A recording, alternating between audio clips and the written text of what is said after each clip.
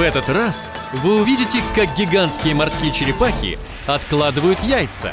Весит она 100 килограммов. Это не очень большая черепаха. Как Дмитрий Комаров отпустит на волю 250 маленьких черепашат.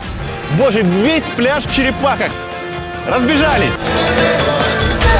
Как делают макароны на самой необычной фабрике в мире. В Риме, Милане даже не представляют, как может выглядеть этот процесс. Мир наизнанку с Дмитрием Комаровым. Путешествие в Индонезию. На телеканале «Новый мир».